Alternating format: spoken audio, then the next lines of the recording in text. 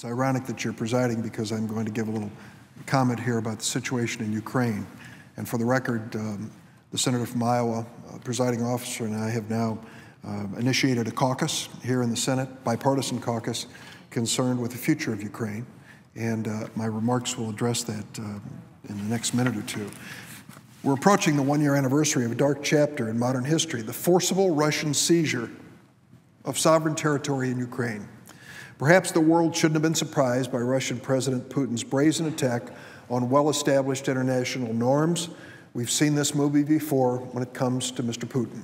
In Georgia in 2008, and using military force to seize territories of South Ossetia and Abkhazia.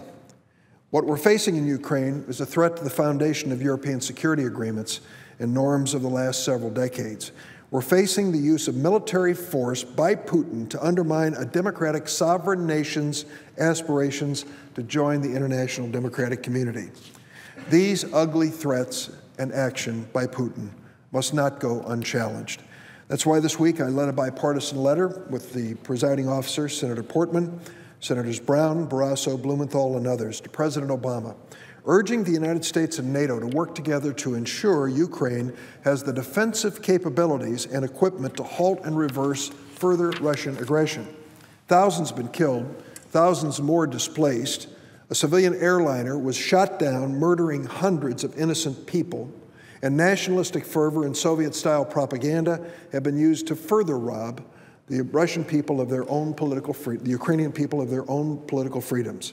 Let's recall how we got to this awful situation.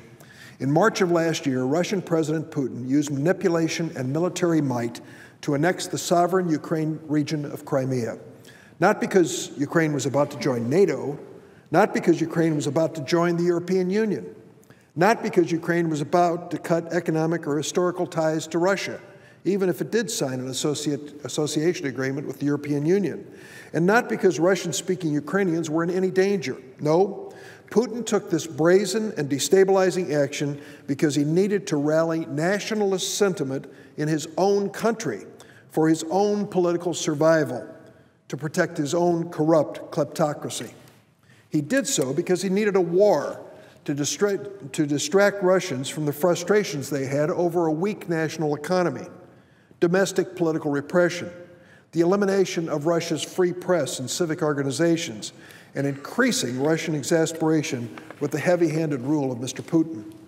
He did so because his ally and, and former Ukrainian President Yanukovych was democratically removed from office by a unanimous vote of the Ukrainian parliament after he squandered negotiations for closer trade ties with the European Union and then presided over the murder of more than 100 of his own citizens.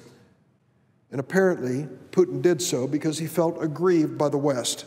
So instead of inspiring his own people to share the many talents and accomplishments of the Russian nation as part of the larger global community, Putin has spread a message of victimhood and that the West is really still the enemy.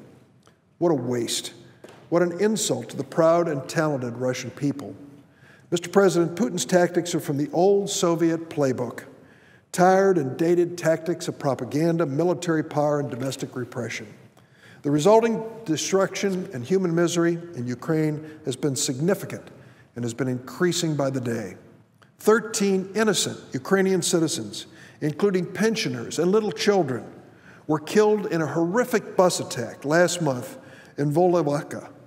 The city of Mariupol recently came under shelling, killing 30 and injuring another 100 civilians part of a likely attempt to militarily seize another strategic coastal area. And Ukrainian government forces and civilians have come under mounting fire in the strategic city Debaltseve, where residents are fleeing by the busload. Russian heavy weapons and military personnel continue to brazenly flow in eastern Ukraine despite Putin's refusal to acknowledge the obvious.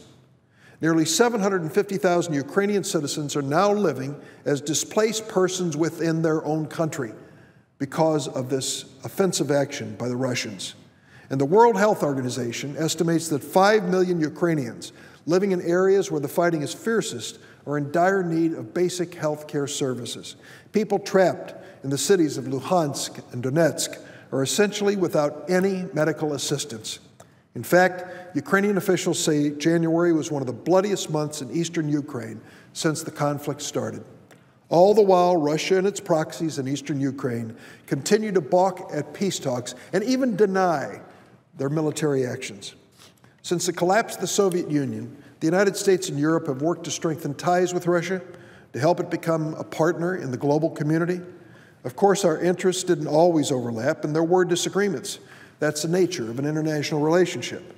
But to whip up anti Western propaganda on state controlled media and insult the Russian people, they deserve more. The West didn't lock up Russian opposition leaders, whose only so called crime was to disagree with Putin. The West didn't shut down all the independent media in Russia to deny the Russian people a free flow of ideas. The West didn't shut down Russian groups whose sole purpose was to ensure fair elections. The West didn't conduct a Russian presidential election in 2012 that was loaded with fraud and irregularity. And the West didn't create a system of corruption around Putin that enriches a lucky few oligarchs and tarnishes Russia's economy and international reputation. The West certainly didn't focus on creating false enemies, both domestic and international, to distract from the real work of diversifying Russia's economy. And let me be clear the West did not cause the protest in Ukraine, in, in the Kiev, Maidan Square. The protesters were Ukrainians fed up with endless corruption and political malfeasance. I've met with several of those leaders in, Europe, in Ukraine, and I can assure you they were Ukrainian patriots, not Western proxies. While I've been giving this speech, my friend and colleague, Senator McCain, has come to the floor, who I visited Ukraine with uh, several months ago. And he was there during the Maidan demonstrations and has firsthand knowledge of how this was a homegrown effort to bring real change to Ukraine. I'm glad to see him on the floor at this moment. New York Times columnist and Pulitzer Prize winner Tom Friedman called what's happening in Ukraine under Putin, quote, the ugliest geopolitical mugging happening in the world today, end quote. Perhaps you've seen the recent excellent episode of the PBS documentary Frontline entitled Putin's Way. It meticulously laid out the web of corruption and destruction around Putin's rise to power. It showed how each contrived crisis at home has been used to consolidate Putin's grip on power, and it left little doubt the lengths Putin will go to to protect the web of corruption that, that is ensuring his future. What a waste. So I commend the President for working with our European allies to impose severe economic sanctions on Russia for its actions in Ukraine. These sanctions have some impact. In fact, Russia's credit rating is now reduced to junk bond status. But Putin and his proxies, proxies have only doubled down, launching new offensives in eastern Ukraine, leading to more death and human misery. So I have concluded, Mr. President, and I believe you've reached a similar conclusion because of a letter that we co uh, wrote this week, that the United States has to do more to protect the Ukrainian people. I know that it's a debating point with some of our European allies as to whether we're escalating the conflict, but to leave Ukraine poorly prepared to defend its own territory, to leave the civilians in Ukraine so open to the aggression of the Russian invaders is just wrong. We can provide lethal defensive weapons to help the Ukrainians defend their own homeland, their own country from this Russian invasion. And I think we should, and I encourage the administration to move forward. I've reached a conclusion we eventually have to deal with this bully with force.